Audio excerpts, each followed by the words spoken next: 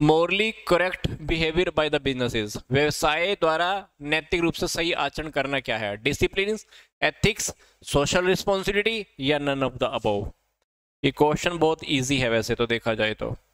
तो मेरे हिसाब से तो इसको हम एथिक्स से बोलेंगे। तो बिज़नेस अगर अच्छे से कोई व्यवहार कर रहा है, नैतिक रूप से सही आचरण कर रहा है तो इसको नीति शास्त्र बोलते हैं। क्या? एथिक्स एथिक्स ही होते हैं ना जब हम एथिक्स को फॉलो करते हैं। तो एक बिज़नेस को हम एथिक्स तब कहा जाता है जब उसके जो काम होते हैं ना सोसाइटी के पक्ष में होते हैं। एथिक्स, एक बिज़नेस के कामों को हम एथिक्स कब कब कह सकते हैं, नैतिक कब कह सकते हैं, जब उसके बिज़नेस के जितने भी काम होते हैं ना, सोसाइटी के फेवर में होते हैं। तो सोसाइटी के फेवर में या सोसाइटी की उन्नति के अंदर, सोसाइटी की प्रोग्रेस के अंदर जितने भी काम करें तो हम हम बिज़नेस के एथिक्स को मतलब एक बिज़नेस अपने एथिक्स को फॉलो कर रहा है। तो बिज़नेस जब अपने एथिक्स को फॉलो करता है ना तो उसकी जो रिपोर्ट होती है मार्केट के अंदर पॉजिटिव पॉजिटिव होती है। तो इससे जनता का विश्वास भी मिलता है और हमें सफलता सक्सेस भी मिलती है। तो हमको एथिक्स को फॉलो करते रहना चाहिए। नेक्स्ट क्वेश्चन देखते हैं। क्वेश्चन नंबर फोर्टी वन ठीक है? कहता है कि ethics is derived from the ancient Greek word ethics की उत्पत्ति ग्रीक शब्द की कहाँ से हुई है? मोस एथिक्स या एथिकोज या इनमें से कोई नहीं। तो हम्म राइट इनमें से रियलिटी में कोई नहीं है क्योंकि एथिक्स वर्ड की जो उत्पत्ति हुई है ना एथोस से हुई है। तो ध्यान रख लेना इस वर्ड से हुई है। जो नैतिकता जो शब्द है ना ग्रीक वर्ड का जो एथोस है इस शब्द से लिया गया। इसका मतलब एथिक्स इसका मतलब क्या होता है? इसका मतलब होता है कि सोसाइटी में बिज़नेस के करेक्टर विचार या जितने भी स्टैंडर्ड है उससे होता है। तो व्यवसायिक नैतिकता बिज़नेस की जो मोरलिटी होती है ना ये नैतिक विचार है। बोले तो मॉरल वैल्यूज़ कह लीजिए, नैतिक विचार, जो बिज़नेस के काम करने के तरीके का मार्गदर्शन करते हैं। ठीक है बिज़नेस को काम कैसे करना है? जैसे हमको पता है ना कि हमारे भी डेली रूटीन की लाइफ में हमारे भी कुछ एथिक्स होते हैं। चोरी नहीं करना, ईमानदारी रखना है। है ना? किसी की भावनाओं को ठेस नहीं पहुंचाना, झूठ नहीं बोलना है। रिलेशनशिप में ईमानदारी रहनी है। तो ये एथिक्स होते हैं। जैसे लाइफ में हमारे एथिक्स होते हैं, कुछ वैल्यूज़ होती हैं मोरलिटीज होती हैं, वैसे बिज़नेस में भी कुछ एथिक्स होते हैं। तो बिज़नेस में जो एथिक्स होते हैं, वो बिज़नेस को चलाने के लिए मार्गदर्शन करते हैं। तो इसी तरह से ही हमारी लाइफ में जो एथिक्स होते हैं, ये हमारी लाइफ को बहुत आगे लेके जाने के लिए हमारे हमारे काम आते हैं। तो दैट इज़ एथिक्स ठीक है? तो जैसे पर्सनल लाइफ में हमारी खुद के खुद एथिक्स होते हैं, इंसानों के एथिक्स होते हैं बिज़नेस के भी कुछ एथिक्स होते हैं, जो हमको आगे ले जाने में हमारे बिज़नेस को या हमारे लाइफ को आगे बढ़ाने में काम आते हैं। आगे देखते हैं तो एनी इकोनॉमिक एक्टिविटी जो जनरेट प्रॉफिट ऐसी कोई भी इकोनॉमिक एक्टिविटी जिससे मेरे प्रॉफिट जनरेट होते हैं, उसको हम क्या बोलते हैं? बिज़नेस ट्रेड कॉमर्स या प्रोफेशन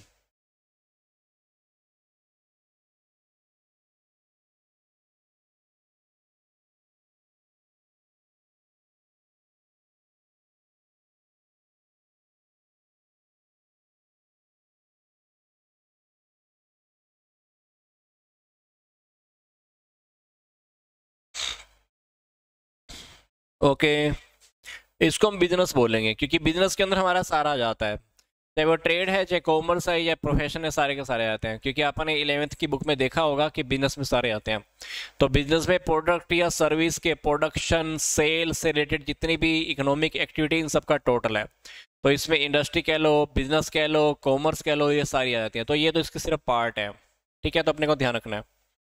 नेक्स्ट क्वेश्चन देखते हैं। क्वेश्चन नंबर हमारा ये आई थिंक फोर्टी क्वेश्चन हमारे लगभग हो चुके हैं। क्वेश्चन नंबर फोर्टी थ्री है। Social responsibility of business is based on किसी बिज़नेस की जो सोशल रिस्पॉन्सिबिलिटी है किसके ऊपर कर, बेस करती है? Profit motive service motive trusteeship theory या बो टू एंड थ्री देखना अपने को किसमें। तो बिज़नेस की जो सोशल रिस्पॉन्सिबिलिटी होती है किसके ऊपर बेस्ड होती है? ठीक है?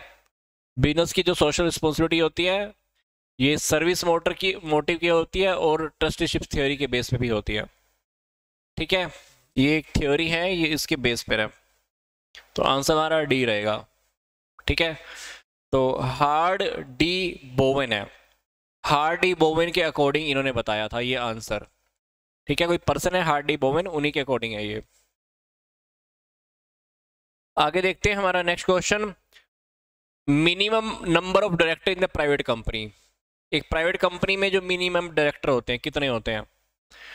टू थ्री सेवन या ट्वेल्व टू थ्री सेवन या ट्वेल्व तो अपने को देखना है कंपनीज़ एक्ट हमने देखा था 2013 की section 149 sub section one companies act 2013 section 149 subsection 1 उसके अकॉर्डिंग हमारे जो कंपनी के जो डायरेक्टर होते हैं, वो हमें अपॉइंट करने बहुत ज़रूरी होते हैं। अगर हम पब्लिक कंपनी की बात करें तो पब्लिक कंपनी में कम से कम थ्री डायरेक्टर होने बहुत ज़रूरी है। जबकि प्राइवेट कंपनी के मैटर की बात करें तो कम से कम हमें पास दो डायरेक्टर और एक हमारा ओनर होना चाहिए। और सॉरी एक जो सोलो प्रोपेटरशिप के अंदर हमारा एक निर्देशक होना बहुत ज़रूरी है, एक डायरेक्टर तो देखना है। तो जो हमारी वन मैन कंपनी होती है, उसमें तो एक डायरेक्टर होना बहुत ज़रूरी है। प्राइवेट कंपनी में बात करें तो कम दो डायरेक्टर होने बहुत ज़रूरी है। और पब्लिक कंपनी बात करें तो कम से कम तीन डायरेक्टर होने बहुत ज़रूरी है। बट एक कंपनी मैक्सिमम पंद्रह डायरेक्टर्स को नियुक्त कर सकती है। कितना? एक कंपनी मैक्सिमम पंद्रह डायरेक्टर्स को नियुक्त कर सकती है। बट क्योंकि क्वेश्चन हमारा ये प्राइवेट कंपनी के बारे में था कि प्राइवेट कंपनी में मिनिमम नंबर ऑफ़ डायरेक्टर कितने होने चाहिए। तो मिनिमम हमारे पास प्राइवेट कंपनी के मैटर पे दो है।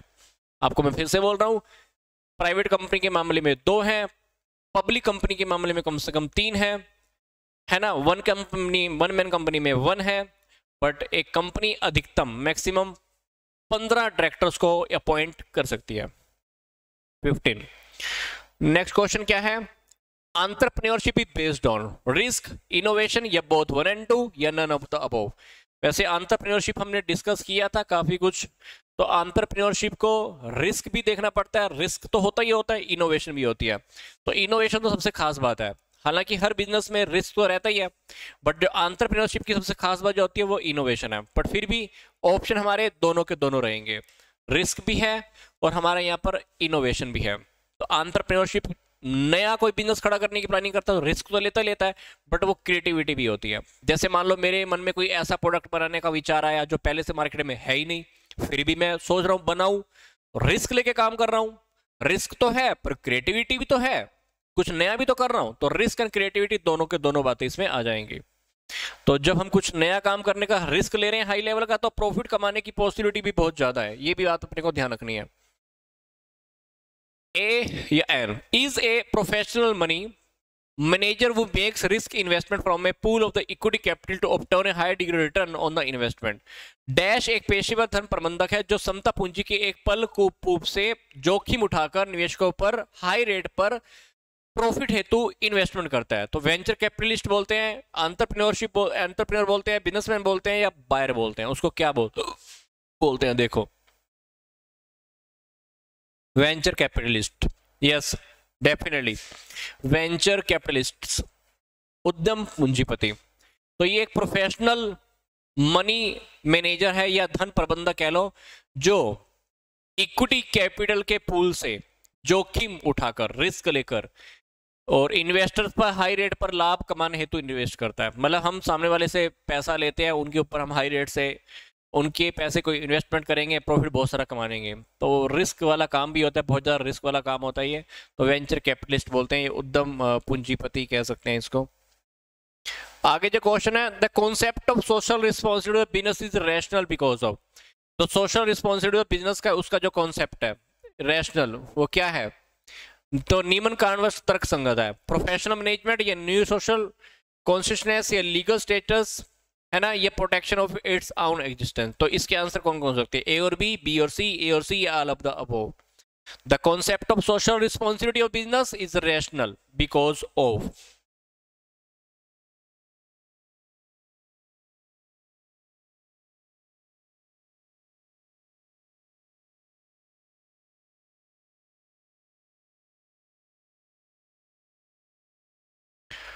ठीक है, इसमें चारों के चारों ऑप्शन आ जाएँगे ऑल ऑफ़ द दीज तो इसमें हमारा प्रोफेशनल मैनेजमेंट भी है न्यू सोशल कॉन्स्टेंस भी है लीगल स्टेटस भी है प्रोटेक्शन ऑफ़ एग्जिस्टेंस भी है. तो चारों के चारों ऑप्शन हमारे इसके अंदर आ जाएँगे. ठीक है? Okay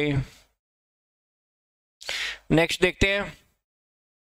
Drone entrepreneurs are those who live on the आलसी अंतरप्रन्योर वो होते हैं जो टिके रहते हैं। Innovation and new idea of the government victory of the others environmental factors labours दूसरों के परिश्रम पर, या वातावरण के घटकों पर, या दूसरों की जीत पर, या सरकार के नवाचार, या विचारों पर, किसके ऊपर टिके रहते हैं?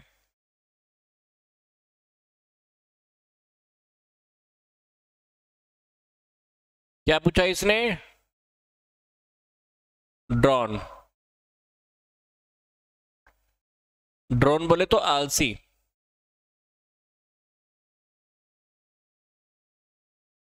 ये वो होते हैं जो टाइम के अकॉर्डिंग बदलने से इंकार करते हैं। मतलब टाइम चेंज हो रहा है, नई टेक्नोलॉजी आ रही है तो बदलने से इंकार करते हैं।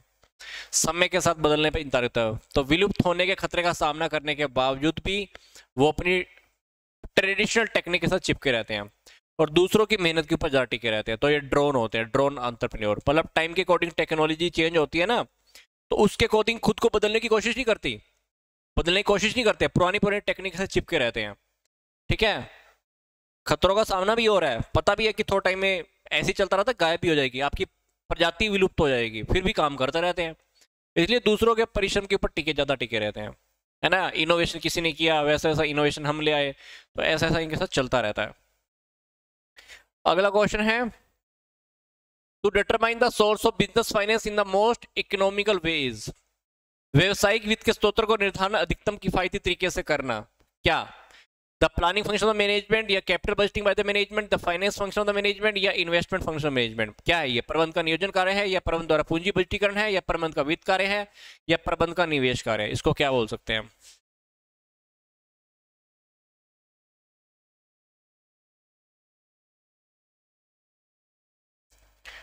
Okay see right the finance function of the management इसका जो आंसर रहेगा, वो finance finance function of the management है.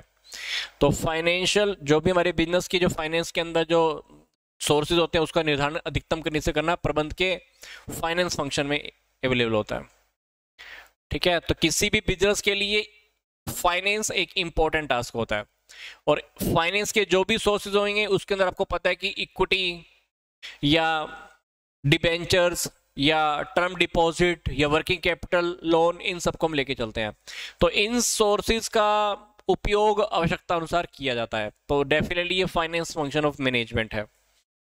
The next question is, according to Keith Davis, which one is not a barrier the communication? Keith Davis के according, इसमें communication कौन सी barrier नहीं है?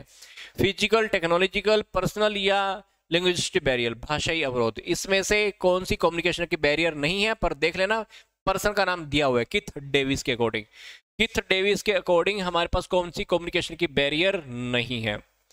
तो किथ डेविस के अकॉर्डिंग अब बात करें। किथ डेविस के अकॉर्डिंग पता है क्या है? कम्युनिकेशन एक पर्सन से दूसरे पर्सन तक इंफॉर्मेशन और हमारी जो समझ है ना, को पारित सामने तक पहुँचाने की प्रक्रिया है। तो इसमें किथ डेविस के अकॉर्डिंग ना हमारे पास तीन बाधाएँ आती हैं बैरियर बैरियर्स आती हैं कम्युनिकेशन की। जो पहली बैरियर है वो है फ़िज़िकल दूसरी है पर्सनल तीसरी है भाषा से रिलेटेड लैंग्विस्टिक बैरियर बोलते हैं। तो डेफिनेटली इसके अंदर कीथ डेविस के अकॉर्डिंग जो हमारा टेक्नोलॉजिकल बैरियर है, ये इनके अकॉर्डिंग नहीं है। तो इन्होंने यही पूछा था कि कीथ डेविस के अकॉर्डिंग कौन सी हमारी कम्युनिकेशन की बैरियर नहीं है। तो डेफिनेटली ये हमारी टेक्नोलॉजिकल बैरियर है।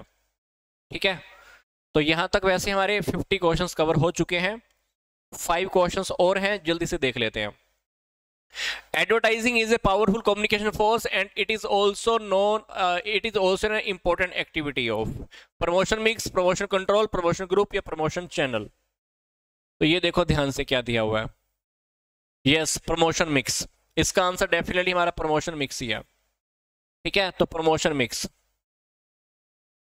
तो एडवर्टाइजिंग एक बहुत ही इफ़ेक्टिव कम्युनिकेशन करने की एक प्रोसेस होती है पावर होती है और प्रमोशन मिक्स का एक इंपॉर्टेंट पार्ट है ठीक है प्रमुख क्रिया है next question is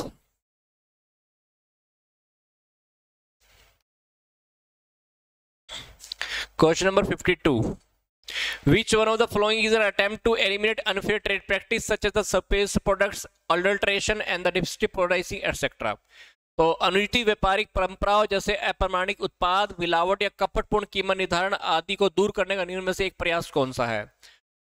संरक्षणवाद, उपभोक्ता कंज्यूमराइजेशन कंज्यूमरिज्म या ग्रुप ऑफ़ कंज्यूमर या कंज्यूमर्स गाइडेंस इसमें से कौन सा है? तो ये अपने को बताना है, सबसे बेस्ट ऑप्शन इसमें से कौन सा बनेगा? कंज्यूमर गाइडेंस ठीक है? तो कंज्यूमर को एक हम जब गाइड कर देते हैं तो इन सब चीज़ों से कहीं ना कहीं बच सकता है consumer guidance yes correct answer तो कंज्यूमर का अगर हम गाइडेंस करते हैं तो वो सारी चीज़ें बच सकता है। तो consumer guidance society of India भी, आपको पता है ना? Consumer guidance society of India भी है, एक एनपीओ है ये। Non profit organisation consumer organisation है, जिसकी स्थापना हुई है 1966 में। तो इसका जो टारगेट है कंज्यूमर को घटिया प्रोडक्ट या सर्विस से बचाना है। मिलावटी खाद्य पदार्थ, कम वज़न वाले या कम वेट वाले प्रोडक्ट से नकली या खतरनाक दवाइयाँ, इन सभी के बारे में कंज्यूमर को शिक्षा देना नॉलेज देना एजुकेट करना, सुरक्षा प्रदान करना। तो इन सभी के लिए इसकी स्थापना की गई है। किसकी? Consumer guidance society of India consumer guidance society of India 1966 next question The customer is the most important visitor on the one's, our premises. It was said by the हमारे बिल्डिंग में या हमारे परिसर में सबसे अधिक महत्वपूर्ण अंग तो कष्ट ग्राहक होता है। ये किसने कहा? फिलिप कोटलर ने निकोलस कैंटीफेंस टीम द्वारा या पंडित जवाहरलाल नेहरू या महात्मा गांधी द्वारा। सोच के देखो क्या होगा।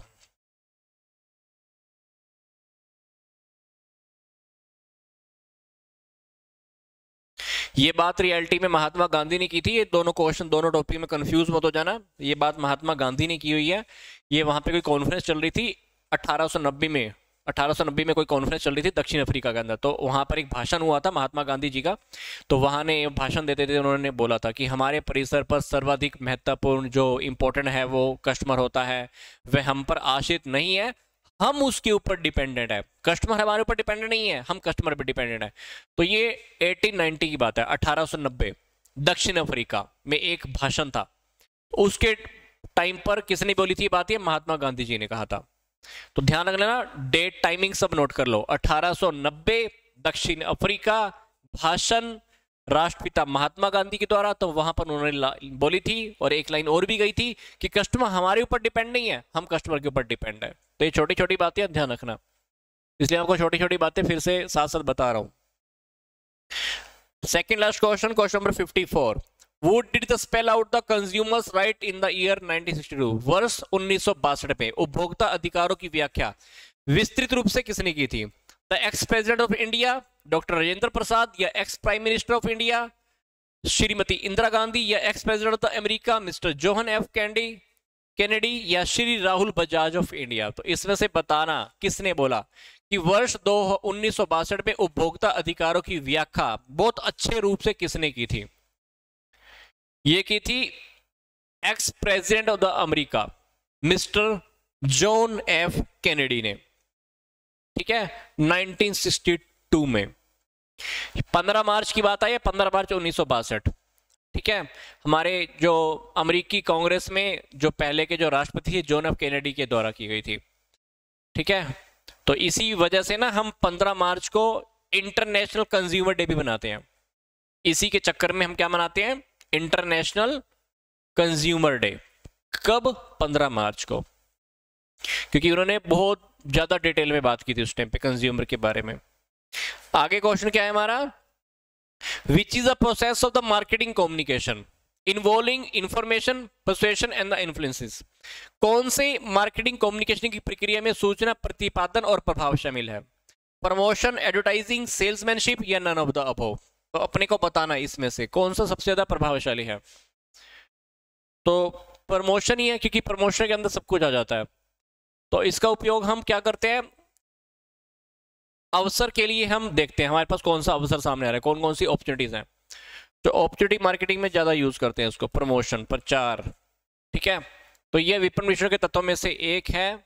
तो यह है किसी प्रोडक्ट या ब्रांड के बारे में कस्टमर को अवेयर करने के लिए, या सेल्स इंक्रीज करने के लिए सेल पैदा करने के लिए, या ब्रांड के प्रति लॉयलिटी इंक्रीज करने के लिए। ब्रांड के प्रति हम चाहते हैं ना कि हमारा ब्रांड बहुत फ़ेमस हो जाए, सामने वाला हमारा ब्रांड में भरोसा करे तो उसके लिए हम करते हैं ये प्रचार प्रमोशन ठीक है? Which is the process of marketing communication involving information processing and the influences तो जिसमें सूचना भी है, प्रतिपादन भी है, और प्रभाव भी है। तो दैट इज़ प्रमोशन तो हमारे 55 क्वेश्चंस कंप्लीट हो चुके हैं आज। 50 का टारगेट हम लेके चल रहे हैं लगभग अभी तो 50 50 100 इतने इतने। तो 80 भी हुए हैं एक क्लास में कभी 50 भी हुए हैं 60 भी हुए हैं 70 भी तो आज हमने इतने क्वेश्चन कवर करने हैं, ज़्यादा नहीं।